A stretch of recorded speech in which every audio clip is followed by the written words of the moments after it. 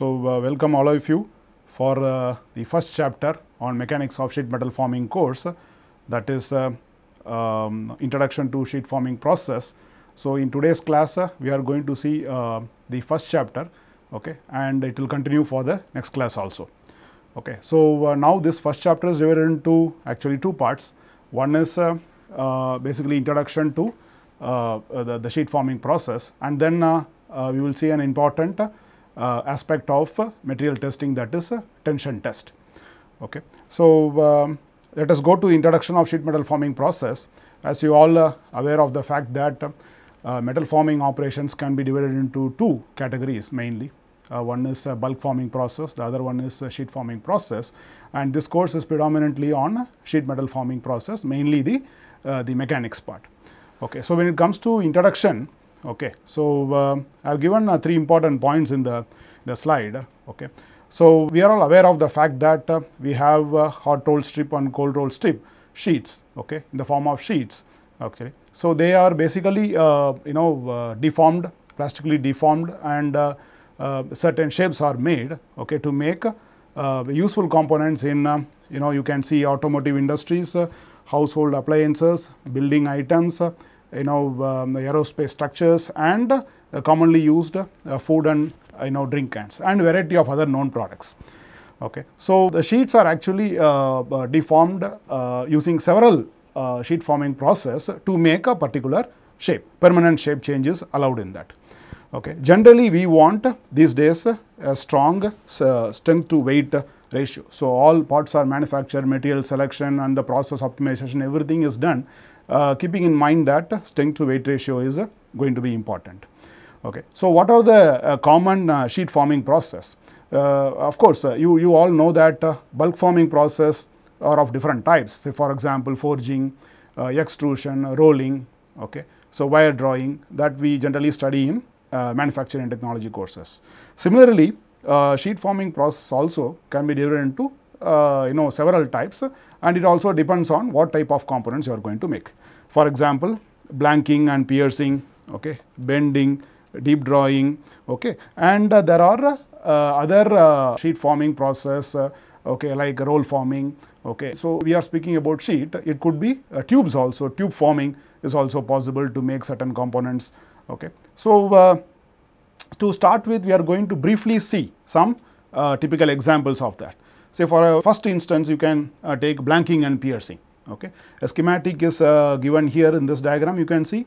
Okay, so you have a sheet here. Okay, and uh, the sheet is actually uh, clamped using uh, blank holder. Okay, so the clamp it's called the clamp. Okay, so the sheet is held on one side and the other side is uh, free to you know deform. Okay, so and you have a uh, punch or you call it as a die that is called cutting die. The cutting die is uh, slightly different from other dies uh, which we use in other sheet forming process. Here the, the, main purpose of die is actually to cut the sheet. Okay, as you see in this diagram, uh, so the uh, sheet is undergoing severe plastic deformation in this region and uh, you will see that at one particular stage fracture is going to get developed and these two regions will get separated. Okay, and this part will actually come down okay, and it will be separated from this part of the sheet. Okay. So, generally this operation is done in presses okay, and additional blanking may be required later to remove extra material and punch holes. Okay, that is a, the entire process. And uh, if you closely look at this, it is actually a complex process of plastic shearing and fracture. Okay. So, you need to have a plastic deformation in this uh, clearance region. This clearance is also very important in this case and this particular parameter uh, clearance is uh, going to be generally uh, you know designed in such a way that appropriate cutting is actually done okay and uh, you will see that this edge region this edge region that means this region which is undergoing deformation okay will undergo uh, localized hardening okay so that's very important and uh, this shearing as such is not going to make a, a shape you know shaped component rather it is going to be helpful for sizing okay so, uh, next important one is called as uh, bending. So, this bending is a very common process used for making uh, several sheet components. Okay. For example, you can have household utensils, washing machine parts like that. The components are actually bent at certain locations and other than that several other forming process are also available to make that component. Okay. So, this uh, schematic is actually a straight uh, line bend. Okay. So, that means uh, this uh, portion was initially you know you can see horizontal in nature and uh, uh, we will see in the next slide. Okay. There are you know presses which is used to bend it to about 90 degree you can imagine. Okay. So, the angle is about 90 degree here.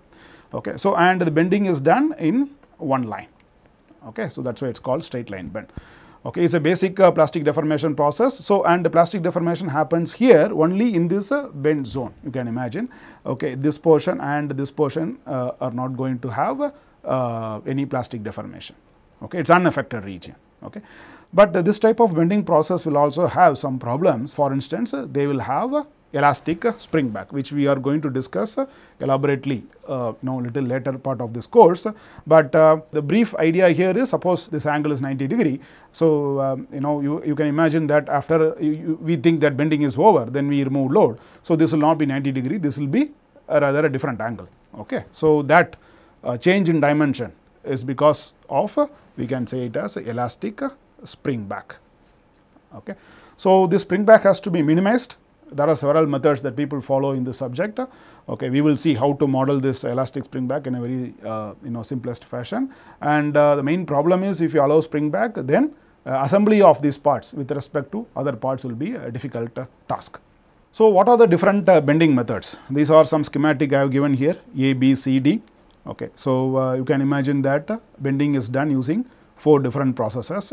Okay, the A part is is going to be little folding type of thing. Okay, you can hold the sheet in this particular region and okay, the sheet is actually clamped here and it is uh, rotated in this direction or of course you can rotate it in the opposite direction also. And you can make a sheet of like this.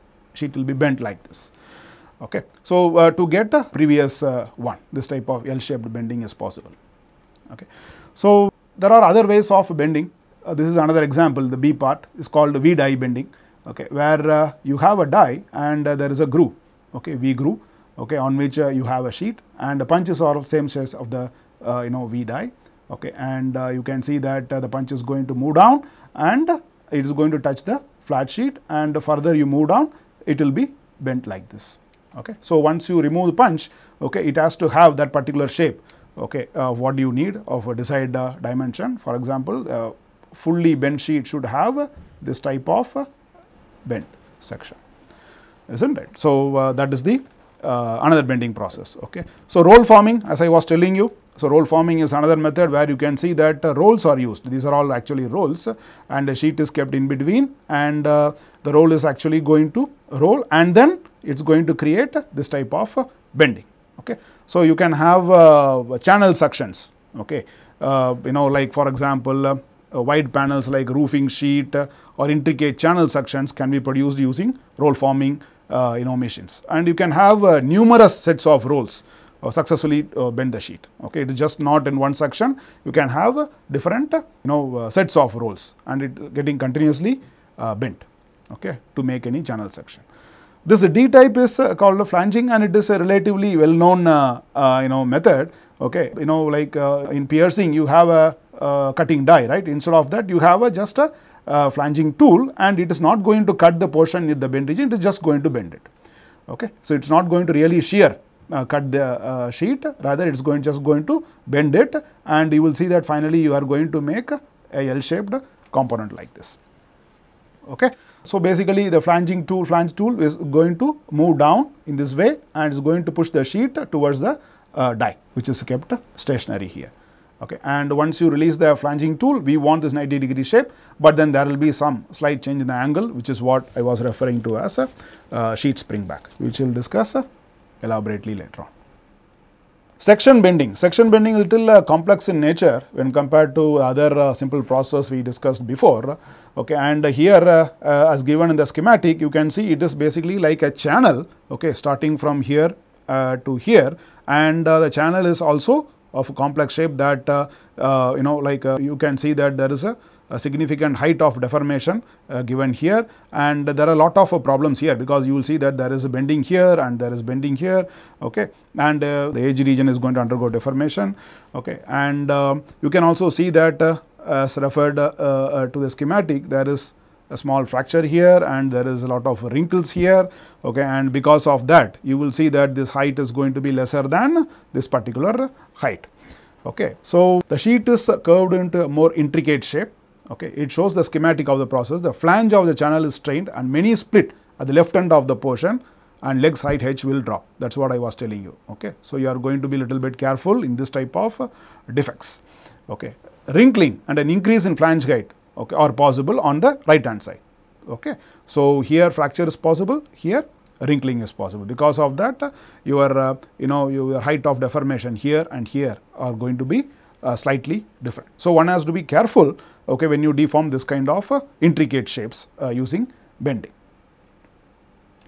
So, there are other uh, sheet forming you know operations like a famous one is stretching okay, as the name says. So, the schematic also uh, shows that as an example. You can see this is the actual sheet, the upper part, okay, and you can see the setup here in B part, okay, where the same sheet is actually clamped between the die and the blank holder. I hope you all are aware of the fact that in sheet forming you need uh, tools, for example, die and blank holder and punch to uh, deform the sheet plastically. Okay, so die is kept on top and blank holder is going to clamp the uh, sheet uh, onto the die and you have friction between at the interfaces here on both the sides okay and uh, you can imagine that in the top view it's going to be of this particular type of deformation so punch is going to touch the sheet first and further displacement in the punch will deform the sheet in this fashion and you can see a part is nicely going to give a section view of how the deformation is going to be okay the punch is pushed into the sheet Okay. Now, one important point here is uh, the sheet uh, most often it is not going to be drawn in. This movement is generally restricted here because of the clamping force and your friction, interface friction. So, what happens is there is going to be significant tensile forces that are generated at the at the center forces or at the, at the center region. Okay. These are the forces that cause deformation and contact stress between the punch and the sheet is very much lower than that of uh, generally yield strength of the sheet. That is what generally people say. So, uh, uh, this uh, stretching okay, uh, we are going to discuss elaborately in further chapters can also be uh, used as a material testing method. Okay. So, you can use this as a uh, formability test. Okay. So, to see you know you know what is this this particular let us say what is the height of deformation okay let us say this is height okay so let us say this is your for example it is your height for example so what is the height of deformation you can have at which you have a fracture in this location okay that can be used as a measure for uh, sheet formability Okay. So, that can be uh, well discussed with respect to this figure as h let us say this height of forming. Okay. So, more complex uh, details going to come in future, but I am just giving you an idea here and then hole extrusion is another uh, you know uh, sheet forming process this is also called as a hole stretching. So, um, the same stretching operation you can imagine that uh, a sheet has got a hole at the center okay there is a hole at the center and there is a punch Okay, there are standard methods for that. We are not going to discuss about that, but okay, the punch is going to deform the uh, sheet, but where hole is located. Okay, so then you will have this kind of you know deformation. Okay, this is the height at which to which the hole is deformed. Okay, so a small uh, hole is made. Okay, a small hole means the hole should be uh, diameter should be lesser than that of the punch diameter is initially bored into the sheet. The punch can then be forced into the sheet to raise the lip. Lip means this particular region okay. So, now what will happen this whole edge will undergo a typical deformation process and the material should not fail before it reaches one particular height and especially failure will happen mainly in the edges. So, you have to be a little bit careful in that. So, your hole stretching okay, or extrusion of punched hole is very important to understand how hole is going to deform when you go for actual sheet forming process. Okay, depending on this one can select the uh, you know the material responsible for making a good material which is be useful for making uh, that kind of uh, components. so, I have just written here that the splitting will limit the height of extrusion will be appreciated. Okay. So, the larger the height it will be better, but at the same time you should be able to uh, make the you know the hole stretching operation okay, without any uh, problem. Okay. That means a fracture should not happen at the edge region. So, this stamping or draw die forming is uh, another method like uh, deep drawing which you are going to see in the next slide.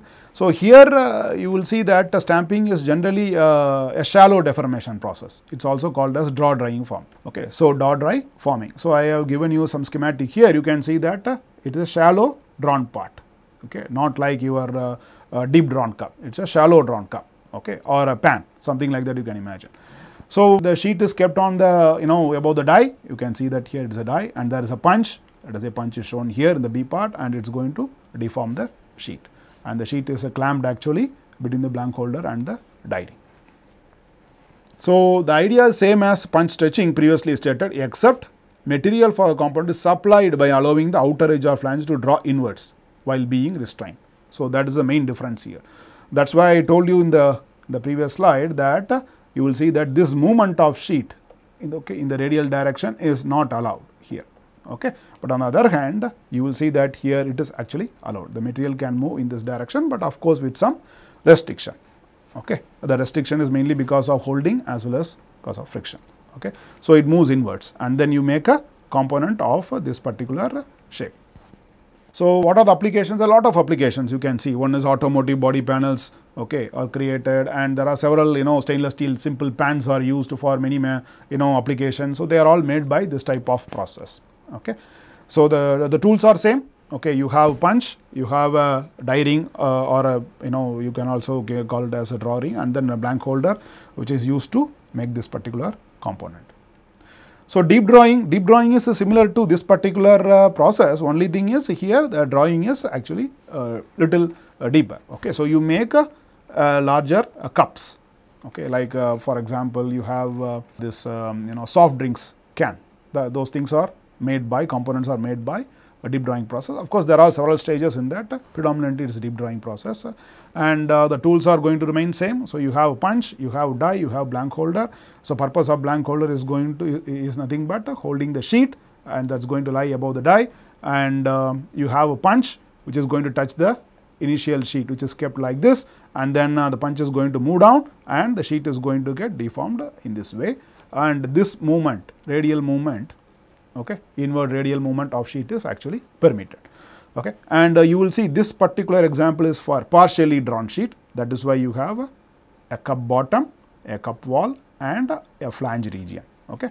So this portion is called flange region of the sheet and this is cup wall of the sheet and this is your cup bottom of the sheet.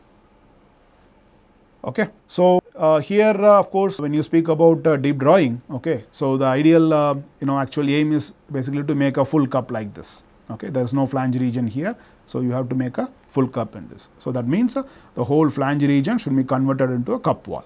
Uh, whole flange region should be converted into a cup wall. That is the meaning here Okay. So, here there are uh, two uh, three important uh, parameters other than the sheet material properties itself. one is this clearance like uh, let us call this as C, the C has to be very important. Okay. If uh, C is less then something is going to happen that you will see in next slide. If C is large then then also it will lead to some other uh, problems defects during deep drawing. So, this clearance should be appropriate that actually depends on the sheet thickness let us say thickness is T naught initial thickness is T naught okay and uh, instantaneous thickness is let us say T okay. So, this clearance should actually take care of this particular thickness. Let us say for example, you have 2 mm thick sheet means the clearance should be slightly larger than this 2 mm thick sheet that is the way you have to give clearance. There are formula available for that. So, one can look into it. So, now other than that lubrication is important. So, you have a friction between the punch and the sheet. Okay uh, then uh, you have blank holder and the uh, sheet. Okay and die and the sheet. Okay so interface friction is going to be important and that is why we are using lubricants. In the deep drawing chapter later on we are going to study very briefly about redrawing of sheets. Redrawing means uh, so this deep drawing is done in several stages okay there are two varieties in that that we will see later on but redrawing is also possible redrawing means uh, instead of one stage you make the component in let us say 8 different stages again and again and again the material is actually uh, redrawn to make any component. But the, the principle the process is going to remain same. So, tube drawing is also possible like I gave an example before that um, the sheets are raw materials here, but other than that you can also have tube as a raw material and uh, you can see that uh, this tube, okay, tube means metallic tube, okay, made of aluminum alloy or stainless steel let us like that. Okay, and uh, uh, so those tubes can be uh, deformed on its edges or somewhere in the middle to make uh, certain uh, components or shapes. For example, flaring. Flaring is uh, one way of making some shape change to the material. Okay. Tube sinking is possible, tube reduction is possible like what we have in water cans no? at one end uh, the diameter is actually reducing right. So, that is that can be made by your uh, tube reduction. Okay. So, diameter is actually going to reduce and uh, that can be made using this type of uh, arrangement like you have a die and you can see that this diameter is larger when compared to this diameter okay, and you will get a nice uh, shape change uh, given to this tube like this. Okay. So, uh, this is also possible in tube drawing. There are several components one can make with this uh, tube drawing operations. Then comes a totally a new uh, type of uh, sheet forming process called as uh, fluid forming or it is famously called as a hydroforming. So, until now whatever uh, the sheet forming process we have discussed are predominantly done by you have a punch, you have a die, blank holder okay, and mostly it is done through these three important tools. Okay. But um, instead of rigid tools, rigid tools means uh, the sheet is actually deforming all other tools okay, like punch, die and blank holder are actually rigid. Okay. They are not going to be deforming at all. Okay. Instead of using rigid tools, what people do is they use fluid pressure okay, as a deformation medium. An example is given here. Okay. So, you want to make a, a sheet part like this. This is your sheet, the bottom part is actually sheet or part or component you can say. Okay, and there is a die here.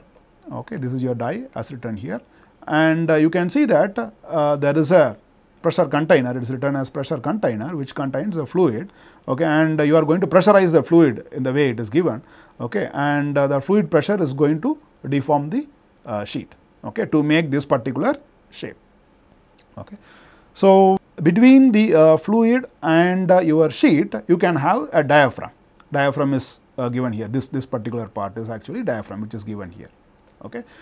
So, the diaphragm is typically put over the sheet of material and pressurized in a container to make a flat pieces. Okay. So, the diaphragm is actually going to, uh, it will not allow physical contact between your fluid and the sheet. Okay. It is going to prevent uh, the contact between fluid and the sheet. Okay. So, mainly uh, to take care of uh, you know the, the other uh, negative effects of uh, you know fluid onto the sheet okay just to avoid that okay you have uh, this diaphragm. At the same time the diaphragm should not disturb the plastic deformation of the sheet. Okay special presses are needed here. That is the main thing. So you cannot use a conventional presses used for your sheet forming process. Uh, you know so you need a separate uh, press for this uh, which can take care of uh, pressurizing the fluid uh, controlling it measuring it. All those things are required here uh, the, the pressures needed to keep the container closed substantially stronger than those acting on the punch in a draw die because the pressure to form a sheet in sharp corners can be very high. You will also see that uh, uh, in the initial part of the deformation, okay, you will have uh, deformation other than the corner region, uh, this die corner region and later on you will see that the pressure is required to push the sheet to take this shape. So, this corner filling is going to be very very important. So, in that case you need to have significant pressure acting on it. So, uh, here this example is mainly for sheets, right. Similarly, tube hydroforming is also possible, okay. Tube hydroforming is also possible. So, we will see uh, uh, one chapter at the end of the course uh, predominantly on tube hydroforming and why it is important for us. Okay. So, complicated tubular parts for plumb fittings and bicycle frame brackets are heavily dependent on uh, fluid forming. Okay. So, you can make uh, this kind of plumbing fittings okay, and bicycle frames. Okay. So, they are made by this kind of tube hydroforming process which is generally made by uh, you know like two different process. Say for example, you make one tube, you make another tube and then you go for welding at the uh, wherever you want to assemble. Okay. So, the main advantage here is you avoid post forming process uh, uh, like welding. Okay. So, that is one important advantage of uh, fluid forming or hydroforming, it could be sheet hydroforming or tube hydroforming. Okay. So, just to uh, complete uh, this particular uh, small chapter coining and ironing, uh, coining and ironing. Okay. So, of course, coining as you see in the schematic, uh, okay, there is a sheet and there is a coining tool which has got a slight impression over here and that impression will be uh, put onto the sheet in this region. Okay. So, it is basically like some sort of shallow plastic deformation that can happen, but that is going to be very very intricate okay, because the sheet as we speak what we speak is of the order of let us say 1 to 2 mm okay, or maybe 2.5 mm and you have to give some shape on the uh, in the thickness direction. So, you have to be uh, you know that, that shape is going to be little intricate and uh, you know finer dimensions have to be captured. Okay. So, that is one important thing when you speak about coining. So, during coining I will come to ironing after this. Okay. So, during coining the sheet material is heavily compressed in the through thickness direction to get the desired shape. The through thickness direction means let us say this is your T thickness. So, in this direction you are actually uh, deformation is given, but within the sheet thickness. That is why you know intricate shapes are made uh, using this kind of coining. So, now ironing is also uh, another important one process uh, in which through thickness compression is actually going to happen like this.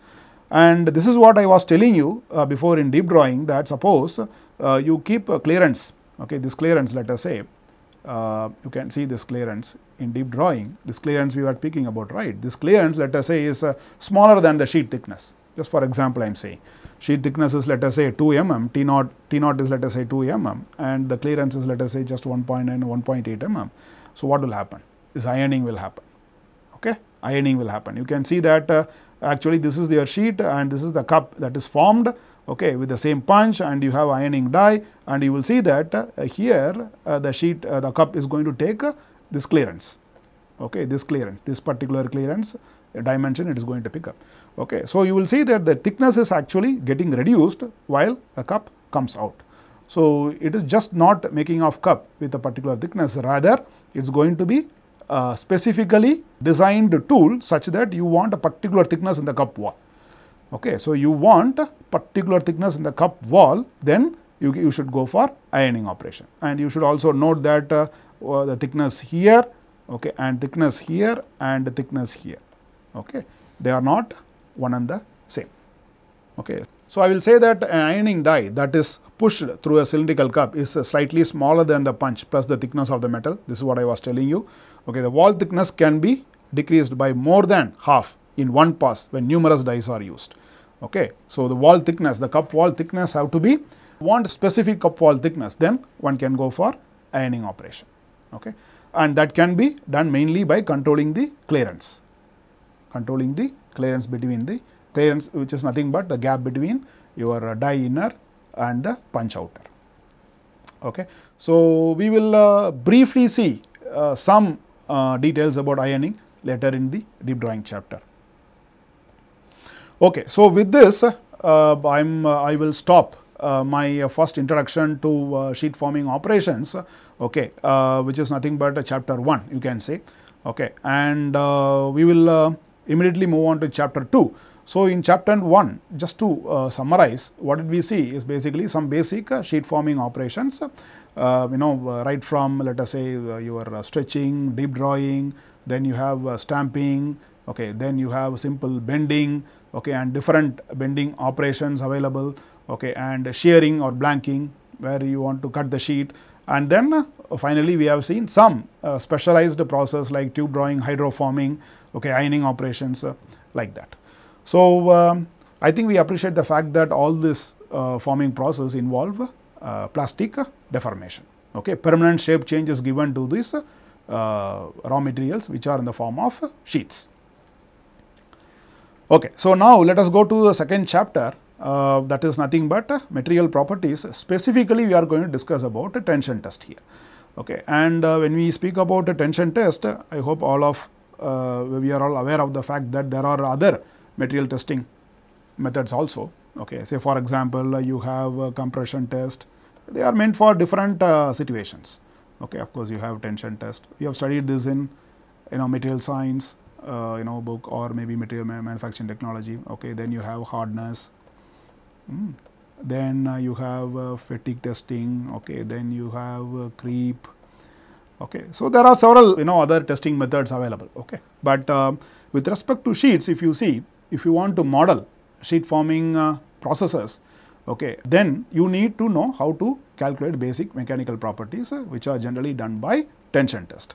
And uh, this uh, tension test just to give you a very brief significance, these tension tests are uh, uh, not only used to evaluate the basic mechanical properties of sheets, it also used to select which sheet material is suitable for what type of applications.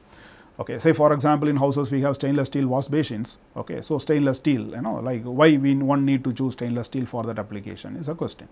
Okay, then it basically connects us to several important uh, requirements. One of that is uh, properties. Okay, so it's a significantly drawn pan, isn't it? So uh, the, the height of drawing is significant, right. So, you need such type of material. So, how do you calculate, how do you evaluate, how do you measure that is by doing tensile test and get its properties. So, the properties have to cross certain requirements to make that particular component. Okay. So, tension test used for that purpose. Okay. So, selection of uh, material for one particular application is uh, very very important for us. So, when we speak about uh, sheet metal forming and tension test, first of all we need to define there is something called as uh, formability. Okay. This formability is a term which is um, defined uh, you know along with ductility. So, if we know ductility, what is ductility then we can define formability also. So, before deforming the workpiece to a certain desired shape, choosing workpiece material is very critical. This is what I was telling you, which is the first point strength, density, stiffness, corrosion resistance are some of the attributes that are most crucial when choosing a sheet material for a workpiece, correct. So, what is the strength, how strong it is, okay. So, what type of density you have, what density you have, how stiff is the material, whether corrosion resistance is significant or not that depends on the application it's going to have okay or some of the attributes or quality that we look into it okay. So, now in this uh, context if you want to define formability we define it like this. A typical definition of formability is this. The ability of a sheet metal workpiece to withstand plastic deformation without being damaged is referred to as formability. Okay.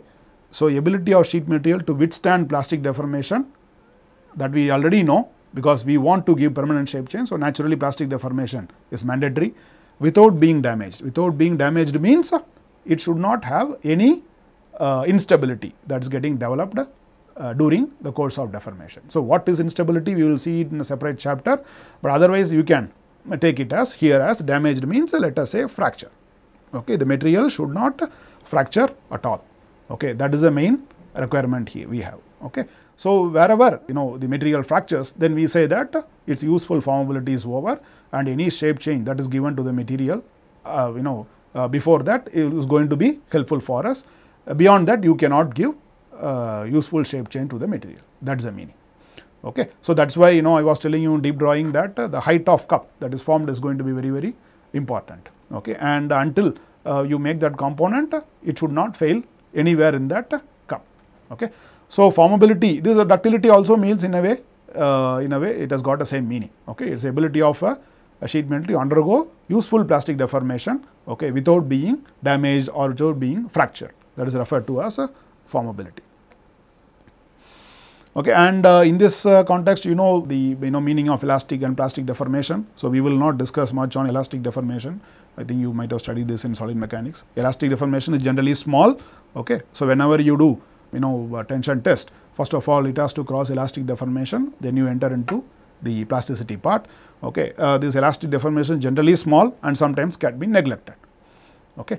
But at some certain situations like spring back which we will see here which is nothing but uh, something called as elastic recovery okay, okay, wherever spring back occurs the elastic shape changes the final component shape and it is compatible with other incompatible with other mating parts. Okay. So, uh, it is going to disturb two things one shape change and is also going to disturb its compatibility with the other mating parts. At that type of situations uh, the elastic deformation should not be neglected. Otherwise, whenever you go for large plastic deformation elastic deformation is generally uh, you know uh, it can be neglected if it does not have any other problem like this when you go for modeling. So, now shape change in sheets permanent shape change in sheets uh, is accompanied by plastic deformation. Okay that is uh, you are going to give permanent shape change to the material. Okay we have already seen some examples okay a cup formed or a shallow drawn cup that is formed by stamping or a simple bending okay all involve permanent shape change So, now when it comes to tension test, okay, which is what the main uh, aim in this uh, particular chapter, okay, how is it generally done? Okay. So, when we speak about the tension test here okay, or tensile test, we are speaking in terms of sheet, in terms of sheet. Okay. So, uh, of course, the concepts are same for rods also, but sheet is a raw material here. So, we are looking for sheet here. So, how does the sample look like? It is like this. Uh, so, I have given you a schematic here. So, you can see that uh, the sample has got uh, two important regions. one is a shoulder region, other one is the deforming region here. Okay, the shoulder region actually goes into the clamp. So, this part actually goes into the clamp and this part also goes into the uh, UTM, clamp of the UTM. Okay, and then it is actually held rigidly such that there is no slipping between the, uh, the clamp and the, the surfaces. Okay. So, generally what you do is you hold it on one side and uh, you give displacement on the other side. Okay. So, displacement will come in the x axis okay. and depending on the material uh, it will take a particular road to reach that particular displacement or deformation that is actually called as P. Okay. So, this sample has got uh, other important features. So, one after another I have written it here, but uh, this tension test is one of the most common and simple mechanical test to understand the deformation behavior of sheet material. This I already introduced to you and this figure is a tensile test piece and um, when we speak about uh, this kind of uh, dimensions, uh, one has to refer some standards. Okay. For example, ASTM standards E8M 22 could be one reference. There are other references also, standard references you can follow. Okay. That means what? That means uh, this shouldered, you know, uh, you know length and uh, this radius and this distance and this L naught, okay, all are fixed. Okay. It is established over several years and one has to follow that and thickness will change depending on what material you want to test. Let us keep it as a T naught. Okay. And uh, you will see that uh, the initial width of the deforming region is let us say W naught. Okay. This L naught is a reference length that we are picking up. It is generally called as gauge length. Okay. It is called as gauge length and uh, another dimension you have that is T naught here. That is the initial thickness. Okay. So, uh, this is a characteristic of a variety of standard test pieces that have parallel reduced section for at least 4 times that of width W naught, but there are standards meant for that. Okay. Uh, so, now what do you do? So, your W naught is known to you because you are going to cut this. So, L naught is known to you, you are going to take this reference and T naught depends on the material thickness and you hold it on one side and pull it on the other side and you calculate load and that is given by the machine itself. Okay. And the load on the specimen at any instant that is P is measured by load cell in the testing machine. So, UTM has got load cell that is going to give you load at each and every displacement okay? And uh, the displacement is generally referred with respect to L naught which is nothing but gauge length okay? The gauge length is like for example 50 mm for you take it. So 50 mm will become let us say 51 52 okay? It will reach up to let us say 60 70 or 80 depending on what material you are going to deform okay? Large material is good. From ductility point of view means you can extend it to a larger uh, dimensions, larger lengths. And that change in length is generally monitored by extensometer, uh, which is a separate uh, device which is used to clamp it at the, the, gauge region. Okay, you have to clamp it, okay, and you have to measure the displacement. Okay, so uh, the extensometer monitors a gauge length L naught in the middle of the specimen, and at any instant the gauge length L and the extension is given by delta L is equal to L minus L naught. So, uh, this delta L is called as the extension okay. delta L is given by L minus L naught. L is a new dimension and L naught is the initial gauge length let us say 50. So, 51 minus 50, 52 minus 50, 53 minus 50 will give you delta L. So, this P and delta L okay, these two are very important uh, fellows to calculate a load displacement graph which is the uh, the raw data that the machine can give. Okay. So, then my next slide will show you you know the uh, details about load extension diagram which I have given it here. Okay. So, you whenever you do tensile test of a typical metallic material okay, uh, then you will get a, a, load and extension like this. Okay. So, load in y axis generally uh, you can imagine that unit is in kilonewton and extension is in let us delta L which is in mm. Extension is in mm. The load is in kilonewton you can imagine. Okay. And uh, you all know that uh, the load generally uh, increases okay, and it crosses uh, let us say yield strength okay, that we will discuss now. So, let us say now it is P y, P y is a yield load. Okay. So, and after that uh, you are going to enter into plastic deformation this region you can call it as plastically deforming region or plasticity region and it reaches uh, P max that is maximum load and uh, you will see that after P max uh, the material is going to uh, deform with reduction in load and it is going to come here this way and you will have a fracture here. Okay, it is fully fractured. The sample will become two different uh, you know regions like that. Okay.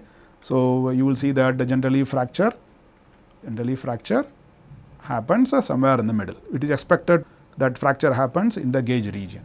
Okay. So, now this particular figure I already introduced which is load versus extension diagram and here there are some important points as I told you P y is called the initial yielding load at which tensile strip starts to plastically deform. Okay. P y is actually a transit region you can imagine. Okay. So, P y is a transit region after that it is expected to deform uh, in a plastic manner. Okay. That means a permanent shape change. Okay. So, just after the yield starts, okay, just after the yield starts the material undergo strain hardening. That means, when you cross P y, okay, when you cross P y, you will see that the material undergoes strain hardening in this region, okay, strain hardening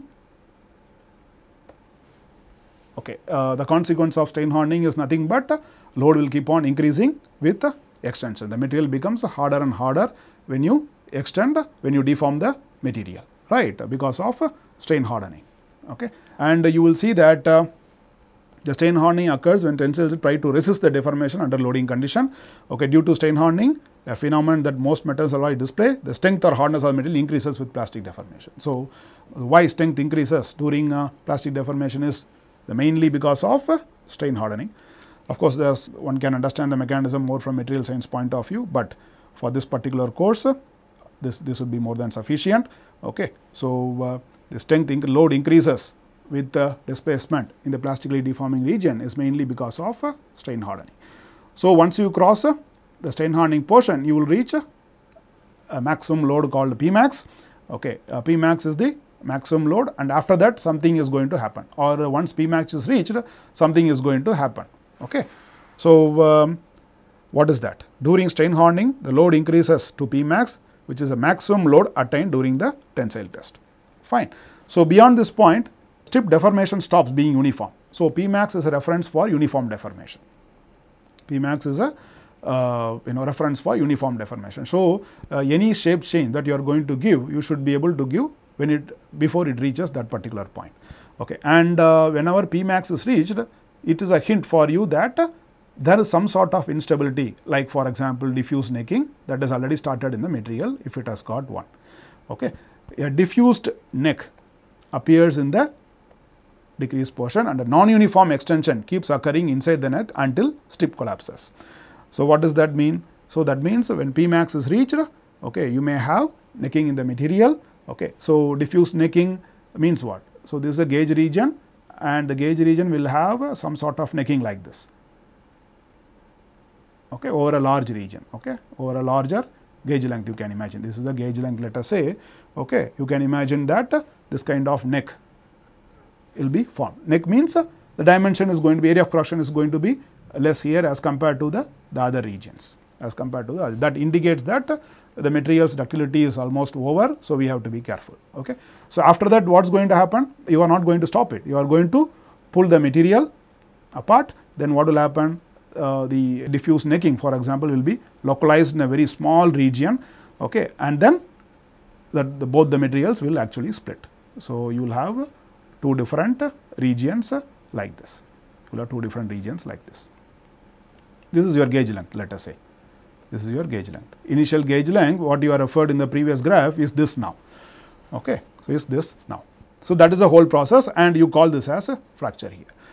So, Py indicates a transit between elastic to plastic deformation then P max you have to be careful one moment you reach that it indicates that some instability like necking is started and then further deformation will happen, but at reduction of load because there is not much area to uh, support that you know load bearing ability of the material. Okay. So, then what happens is the load will decrease with uh, further displacement.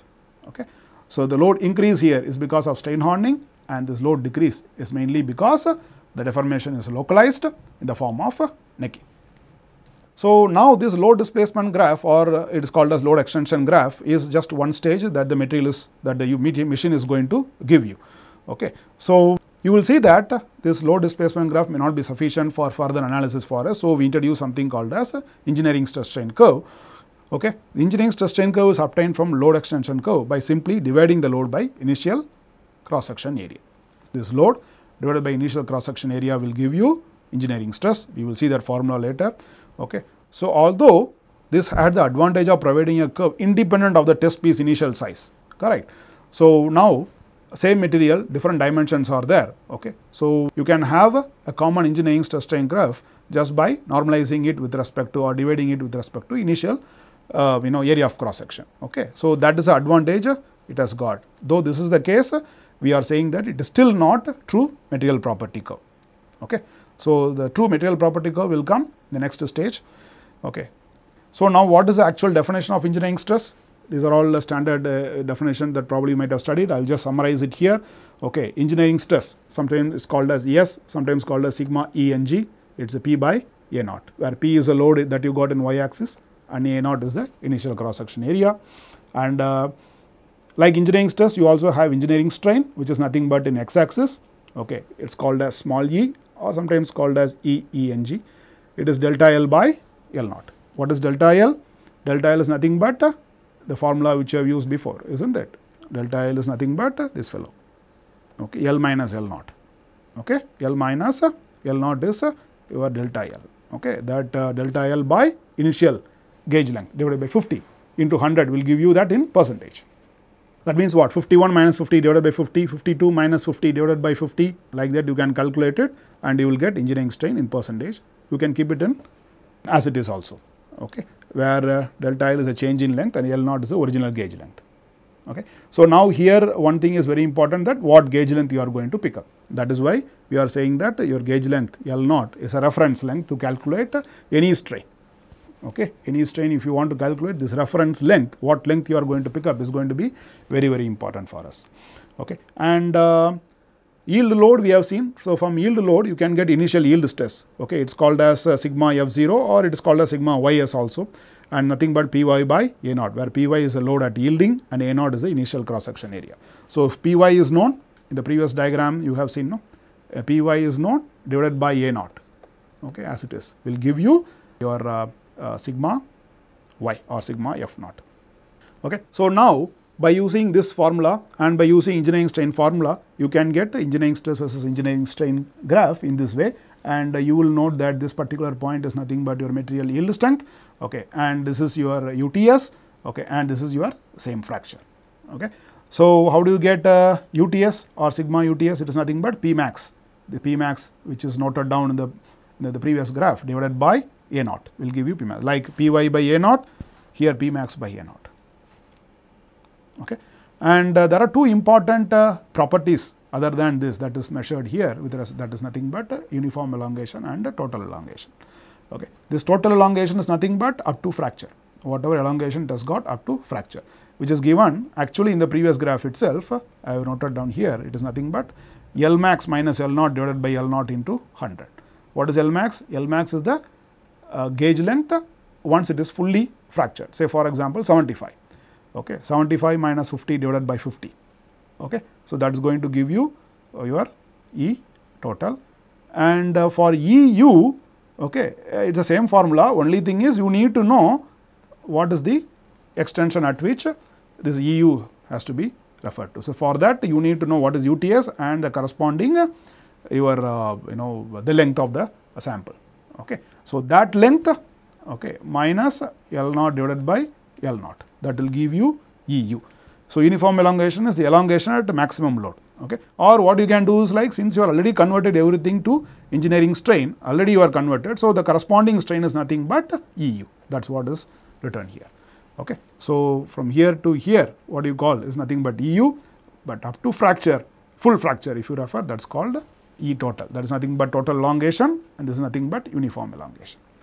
So, for most of the material this is important E total minus EU this distance okay, E total minus E u uh, that is nothing but this value this is going to be very very crucial. Okay.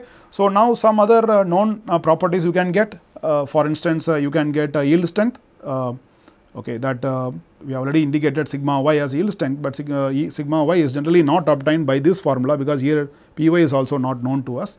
Okay. Practically sigma y is evaluated by a method called as a proof stress evaluation. Okay. But before that you know how to get Young's modulus of the material. So, it is nothing but uh, your yield strength divided by E y. The slope of elastic part of the curve is nothing but elastic modulus also called as uh, Young's modulus. So, you know how to calculate it. Okay. And uh, in some materials what happens is the transition from elastic to plastic deformation is, uh, is going to be unclear. Okay. So, there will be a smooth transition, there will be a smooth transition from elastic to plastic. So, in that type of materials you have to be careful and uh, for calculating the yield strength and for that we are going to use this particular method. So, what we do here is uh, you zoom in uh, to the initial part of the deformation, initial part of the curve, engineering strain curve which is what is given here. Okay. You will see that um, in the engineering strain x axis you pick up 0.2 percent strain assuming that engineering strain is given in percentage okay you pick up a point 0.2 percent strain and then you draw a line parallel to the elastic part. Okay. So, wherever it is going to hit the curve the corresponding one you can call it as a sigma y. Okay. So, in this kind of instances where the transition is going to be smooth you can use proof stress. This is the stress required to create a specific tiny plastic strain typically 0.2 percentage or roughly twice that of elastic strain at yield. Okay. This elastic strain at yield no elastic strain at yield. No? So, uh, maybe twice than that of that that is what is referred, but otherwise generally standard says that 0.2 percent strain you pick up and then you go and hit it in the stress strain curve the corresponding one is nothing but yield strength. As shown in the figure proof stress is calculated by drawing a line parallel to elastic loading line offset by specified amount this much amount you are doing. Okay. So, this is nothing but your yield stress evaluation. Okay. So, now given a load displacement graph, uh, we can get engineering stress strain graph uh, and we can get yield strength from there, UTS from there, uniform elongation, total elongation, all those things can be evaluated. Okay. And of course, Young's can also be evaluated, which is nothing but the slope of the elastic part of the deformation. So, now we are going to convert this engineering stress strain graph into true stress strain curve okay, and this true stress strain curve is predominantly used for any engineering analysis. Okay. So, one issue with the engineering stress strain curve is it is based on initial dimensions of the test piece right. So, now if you want to uh, really get the real real picture of the deformation then one has to have some curve which is depending on the instantaneous dimensions okay, which is nothing but uh, your true stress strain data or true stress strain curve. Okay. Since metals and alloys can deform plastically without significantly changing their volume, the true stress can be calculated from the load extension diagram using the rising portion of the curve that is nothing but your plastic deforming region between the first yielding and the maximum load. Okay. So, what we do is we will define true stress and true strain and that can be obtained from uh, the load displacement graph or the engineering stress strain graph okay, and uh, mainly in the plastically deforming region. Okay. Say this part, okay. you pick up this part of the region okay, and you can get a true stress strain curve which is uh, what is shown in this uh, diagram. Okay. You can see that uh, your y axis is true stress, unit is same megapascal. Okay. So, true strain uh, you can keep it in percentage also and you will see that the graph starts here and it keeps on increasing. Okay. So, you will see that there is always an increasing trend. Okay. Uh, that is the main difference between elastic uh, your engineering stress strain graph and true stress strain graph. Okay. And uh, this part is your uh, sigma f naught which is nothing but yield strength and uh, this is nothing but uniform elongation. We have drawn up to that only. Okay. Of course, true stress data can be obtained beyond that also, okay. but uh, this is this curve is drawn only up to your uniform uh, elongation that is up to UTS. So, yield strength to your UTS part you are converting into true stress strain data. Okay. So, now what we are going to do is we are going to define what is true stress that is nothing but sigma. So, engineering stress we referred as ES, engineering strain is referred as uh, I think uh, uh, E okay, and here true stress we are actually referring it as sigma. So, sigma is nothing but P by A. So, A naught is the initial area of cross section, but A is nothing but instantaneous cross sectional area or area of cross section. Okay. So, uh, P is actually given by the load displacement graph, okay. but how do you get A? Because A is going to be changing with the deformation. So, for that what you are going to do is you are going to pick up this particular important you know equation volume of the gauge region is considered constant in plastic deformation. Okay. So, we know that it is A naught L naught will be equal to A L. So, A naught L naught will give you initial uh, picture of the sample or initial size and A L is going to be instantaneous one. Okay. So, A naught is known to you, okay. L naught is 50 mm, okay. A naught is known to you, A naught is nothing but let us say uh, area of cross section is nothing but uh, your uh, you know width into thickness. So, width of the sample is known to you W naught which is known to you and thickness is known let us say 1 mm. Okay. So, we can get a initial volume and uh, A is the one which you are going to evaluate and L is nothing but uh, your instantaneous length which is also known to you, okay, which is also known to you okay, because you are the one who is going to deform let us say 50 mm gauge length will become 51, 52, 53. So, you know the length. So, from this uh, A can be obtained uh, and I am going to substitute here. So, A is nothing but A naught L naught divided by L which I will keep it here which is nothing but uh, P by A naught into L by L naught. A naught L naught by L. So, L goes to numerator. So, P L by A naught L naught is going to be your sigma. So, I can get true stress now because P is known, A naught is known, L naught is known, L can be calculated at every uh, each and every level of deformation. So, I will get it. So, now when it comes to true strain, it is generally represented as epsilon, generally represented as epsilon. So, epsilon is nothing but integral d epsilon you can say for small deformation d epsilon can be written as dl by L.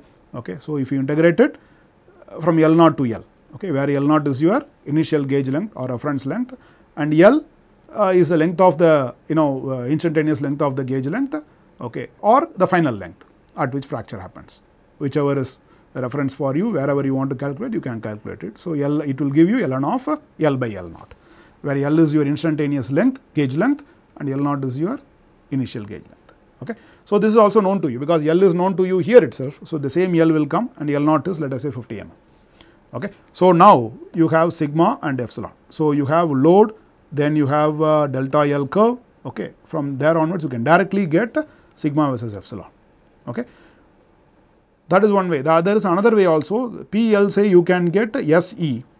Okay. That means engineering stress, engineering strain. From there also you can get sigma epsilon, which is what is given here. So, you need to relate uh, engineering stress and true stress, engineering strain and true strain, which is what is uh, given in this particular discussion. So, we know the sigma is equal to P by A, which is nothing but uh, P by A naught, A naught by A naught I am keeping. So, A naught, A naught will be cancelled, P by A will remain. So, it is correct. So, what is uh, P by A naught? Nothing but my engineering stress, yes. A naught by A, uh, A naught by A would be equal to L by L naught I am keeping. So, L by L naught will remain same. Fine. So, now engineering strain, I will come back to this formula. So, engineering strain is nothing but L minus L naught divided by L naught. That also we have seen already. Delta L by L naught we said. Uh, we said delta L, this is nothing but delta L, no delta L by L naught we said. So, nothing but L minus L naught by L naught which is nothing but L by L naught minus 1. So, L by L naught is nothing but L by L naught is nothing but 1 plus uh, E. Okay. So, I am going to put 1 plus E here okay, and I will get uh, sigma is equal to S into 1 plus E. Okay, sigma is equal to S into 1 plus uh, E. So, here you will see that uh, if I do not want to evaluate sigma versus epsilon graph directly from load displacement graph, then I can use this route also. So, first you calculate engineering stress and engineering strain the usual procedure described before and using this formula sigma is equal to S into 1 plus C I can get uh, sigma. Similarly, what I can get is epsilon also. So, epsilon is nothing but ln of L by L naught. So, L by L naught is nothing but 1 plus E. So, epsilon is equal to L naught ln of uh, natural logarithm of 1 plus E. Okay. So, this will give me my sigma versus uh, epsilon graph which looks like uh, the one I have written before. Okay. This is nothing but sigma you can say nothing but epsilon. Okay. It will look like this. Okay. But one has to be very very careful in using these equations uh, because uh, we do not know uh, how accurately you are going to measure once the necking starts okay after Pmax or after UTS you have to be careful in evaluating the dimensions because necking is going to happen one may not measure the dimensions accurately. So, you have to use these equations these calculations suitably. Okay. So, but uh, this is an important thing. So, here I will again tell the nomenclature here sigma is nothing but true stress, S is nothing but engineering stress, E is nothing but uh, your engineering strain. Epsilon is true strain, E is engineering strain. So, we are going to use this sigma S E okay, and epsilon sigma epsilon S E in this fashion only. Okay. So, now then comes a how do you relate stress and strain. Okay. So, in the elastic part of deformation we know a Hooke's law sigma is equal to E into epsilon which is going to be used for predominantly to describe the uh, stress strain relationship where E is nothing but your Young's modulus through which you calculate Young's modulus before. Okay. But beyond that okay, this uh, equation has to be modified and there are several equations of that type uh, we will see a little later on what is it. One important uh, is basically power law. Okay. This is an important equation sigma is equal to k epsilon power n. This is like a power law y is equal to a x power b type. Okay. So, where sigma is nothing but your true stress again epsilon is going to be true strain. Okay. We have to be careful in this. Okay. Again again I am saying sigma means true stress epsilon means here true strain only. Okay. So, now this k n n actually is going to vary depending on the material. Okay. So, different material may have different load displacement graph and hence a different stress strain graph. So, unless otherwise you do something to the material it is not going to change. So, stress strain graph is going to be a material property. Okay, you do something to the material then it will change otherwise no it is not going to change. So, which means that this k and n are nothing but material property of this particular uh, available in this equation. Okay. And this one way to evaluate this basically to take a logarithm on both sides and you will get ln of sigma is equal to ln of k plus n is power. So, it comes front n ln of log of epsilon. Okay. So, and this you can easily understand is of the form y is equal to mx plus c where c is this fellow and your m is nothing but your n. Hmm. So, and this k and n has got a specific name and we are going to use this predominantly this particular equation predominantly throughout the course. So, one should remember this where n is called as strain hardening index okay, sometimes called as strain hardening exponent and k is called as strength coefficient k is called as strength coefficient okay. and again sigma is true stress epsilon is true strain. So, k is strength coefficient n is strain hardening index or strain hardening exponent you can say. So, how to get this now? So, now you are converted into a straight line plot okay, where this is your y and this fellow is your x. So, I am going to draw x versus y where y is your log sigma and log epsilon you can take. And you pick up the stress strain data only in the plastic deforming zone. That is between yield strength and UTS okay? And you convert all that sigma epsilon into logarithmic plot like this okay? And uh, you will see that generally you get a straight line fit like this but not all materials will slope uh, will, will show one straight line okay? But generally most of the materials show this one straight line like this. And slope of this curve is given by n. Okay. If you take slope of this, then it will become n. So, you will get one particular value here okay. and the intercept of that will give you k and the intercept of that will give you k. Okay. So, in this way one can get k and n. Okay. So, what you do is basically you convert a power law into a straight line fit and the slope of that curve will be given by uh, n okay or in other words slope of that curve gives n okay, which is nothing but the strain hardening exponent and the intercept in a way will give you k. And here I have clearly written that it is only in the plastically deforming zone. Okay. So, this way one can get k and n and you will see that uh, once you have a stress strain behavior, okay, true stress strain behavior done. So, you have load displacement graph from that you have S versus E engineering stress strain graph. From there you get uh, sigma versus epsilon true stress strain graph. And true and stress and true strain are related by this particular simple power law sigma is equal to k epsilon power n which actually describes the, the strain hardening part of the curve. Okay. This power law is nothing but uh, the one which describes the strain hardening part of the curve. Okay. And uh, this you are converting into this particular plot okay, and uh, you are going to get k and n in this fashion which I told. Okay. So, now the accuracy of calculating k and n depends on how good the fit between the sigma versus epsilon graph that you get from this equation and the original true stress strain curve. Okay. So, let us say you have true stress strain data that you obtained from experiments in this route. Okay. In this route you got it. Okay. Now, what you have done is nothing but you are fitting the true stress strain graph into this equation. Okay. Let us say for example, you are calculating this equation as let us say sigma is equal to let us say 200 epsilon power 0.25. Okay. We will see several such equations in the problems. Okay. You will get some flavor. Okay. Sigma is equal to 200 epsilon power 0.25 where epsilon is going to be changing accordingly sigma is going to change. Okay. So, if you have accurately calculated this 200 and 0.25 or k and n then your true stress strain data from the experiment and this equation is going to match. So, it is all about fitting the stress strain data that you get from experiments uh, using this type of equation. Okay. So, now you will see that uh, from a tensile test you are going to calculate uh, this type of uh, uh you know evaluate this type of equations, but actually tensile test you will see that uh, the material is going to fail at one particular strain.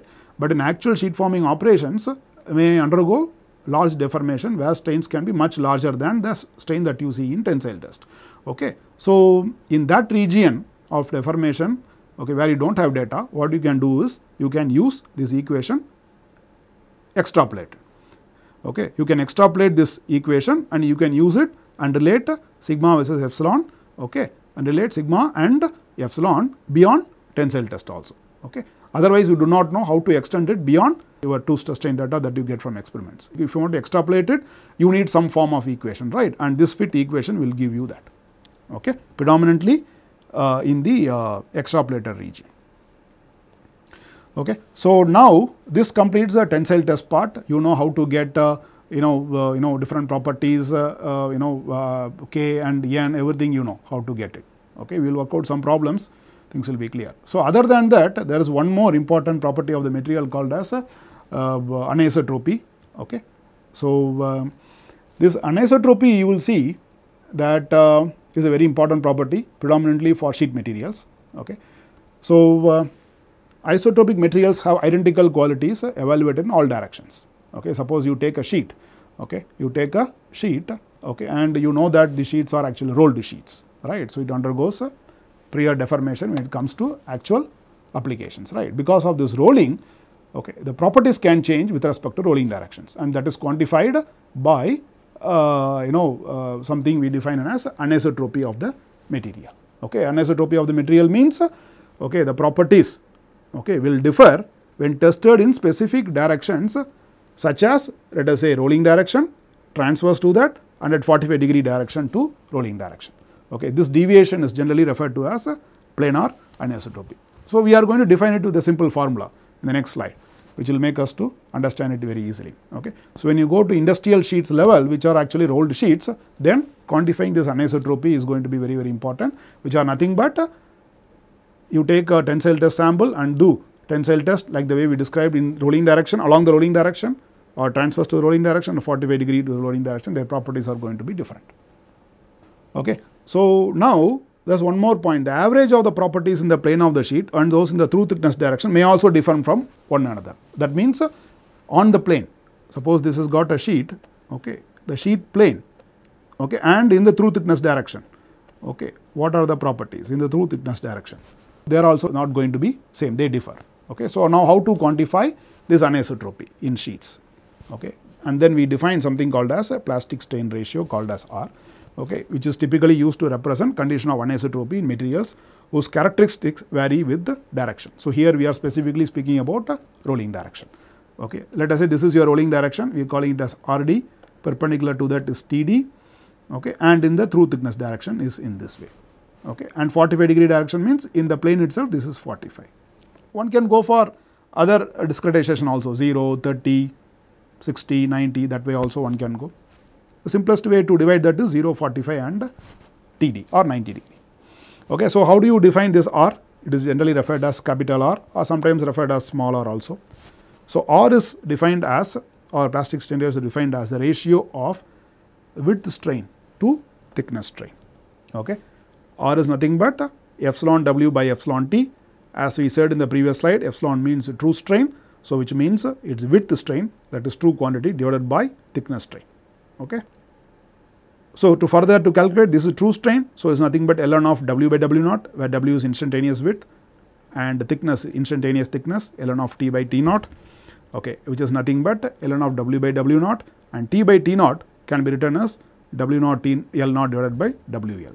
Okay. So, we are saying that uh, W naught L naught T naught would be equal to W L T. So, you need a T by T naught right. So, T by T naught will give you T would be W L and here you have W naught L naught. Okay.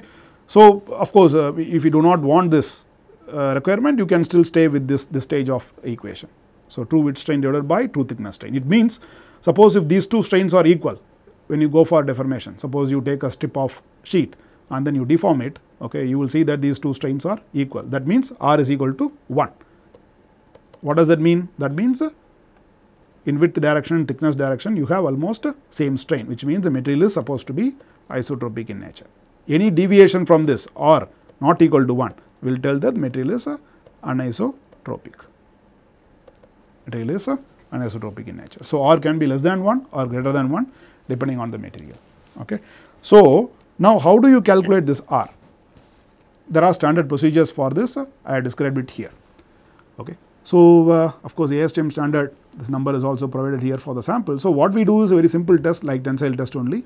So, here what you do is you take a rectangular sample typical dimension you can say this is 175 mm, ah, this is total length, this is 28.58 mm. So, you can refer to this ASTM standard and uh, at the geometric center of the sample you will put uh, these indents.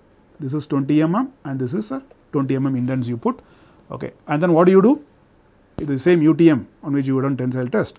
You hold it on one side and you pull it on the other side, give some displacement. You have to stop the test. So, when is it? In the tensile test actually you stopped it until fracture. It has to fully fracture, but here you stop it at 15 percentage strain okay, uh, at 15 percentage of this 20 mm, 15 percentage of this uh, 20 mm. So, what do you do here is R value measurement are taken at strain equal to 15 percentage. Okay. So, what do you do? You can calculate 15 percentage of 20 mm okay, and add it to 20 mm okay, this, this 20 mm length uh, because length is a measure which you can control. Okay. Let us say for example, that has become let us say 23 mm or 24 mm like that. Okay. So, then what do you do? You stop the test at that particular instant so, you know the new length, right?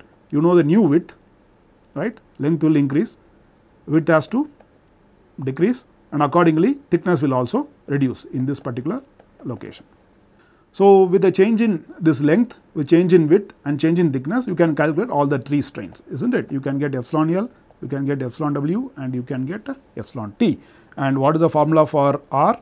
R is given by true width strain divided by true thickness strain. So, you need only this strain and this strain which you can get it by measuring it.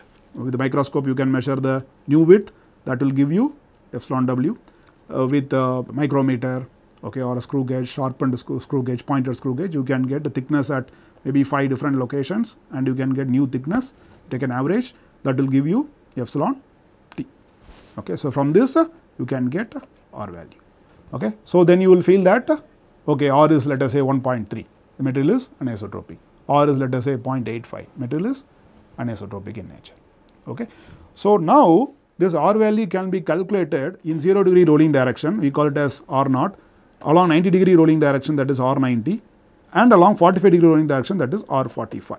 Okay. So, in that way it can vary uh, with several uh, such angles are there is not it. So, one has to have some averaged quantity which is actually given by R bar. Okay. So, this R bar is nothing but average plastic strain ratio. It is also representing something called as normal plastic anisotropy ratio which is generally given by R naught plus R 45 plus, uh, plus R 90 plus 2 R 45 divided by 4. So, you calculate R naught you have to test it separately true width strain divided by true thickness strain you do separate test again in this direction. So, you will get 2 different thing in 45 degree direction again you get uh, epsilon, epsilon dt. So, now you have 3 values right substitute in this formula you will get a R bar okay.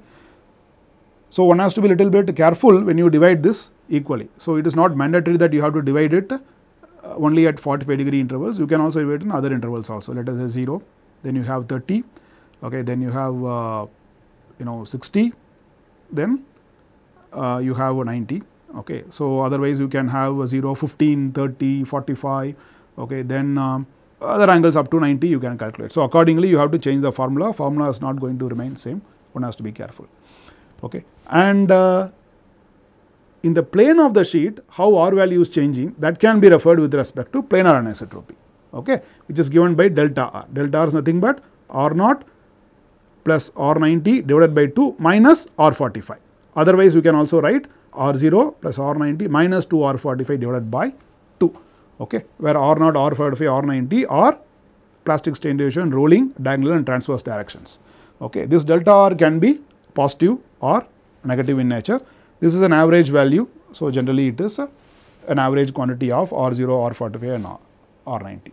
Again one has to be very very careful in using this formula for different sets of rolling directions which I have referred here. This is valid only for 0, 45, 90 degree rolling direction. Okay. So, one has to look into it. So, now uh, given a sheet you can get R value and then you can get R bar and then you can get delta R. Okay. So, what is the use of this R bar, delta R, all those things we will see in the next uh, uh, lecture. And uh, just to summarize what we have seen today, I introduced the sheet forming process. Okay. So, variety of sheet forming process we have briefly discussed, some of them you will see elaborately in the uh, in the uh, next future classes. Okay. And after that predominantly we discussed about a tension test, okay, which is very mandatory for any characterizing any sheets. And uh, that is also used to model the uh, you know uh, sheet uh, deformation. Okay. So, we started with how to get load displacement graph in UTM and then converting that to engineering stress strain graph and then to true stress strain graph. So, true stress strain graph we said sigma epsilon graph is the main uh, you know uh, data that we need. So, how to fit the true stress strain data in the form of an equation let us say power law sigma is equal to k epsilon power n where n is the strain hardening exponent and k is the strength coefficient. If a fit is accurate then experimental data and the data from the uh, equation is going to be uh, agreeing well. Okay. Then uh, uh, I discussed with you briefly about uh, anisotropy, how to calculate the sheet anisotropy which is generally created by rolling operation. Okay. Then you refer something called as R 0, R 45, R 90 with respect to rolling direction, where R 0 is along the rolling direction. And then uh, we defined a parameter called plastic strain ratio or a property plastic strain ratio which is defined as true width strain divided by true thickness strain and how to calculate R for material is also described with simple testing procedure which is shown in this uh, uh, figure. Okay. So, from there onwards we introduce something called R bar which is like an average quantity and then delta R which is going to tell you how different is R value in the plane. Okay. So, R 0 plus R 90 by 2 minus R 45. So, you take an average of R 0 and R 90 and you compare that with R 45, how different they are that will be given by delta R that is called planar anisotropy of the sheets. Okay. So, with this we will stop and then we will see in the next class.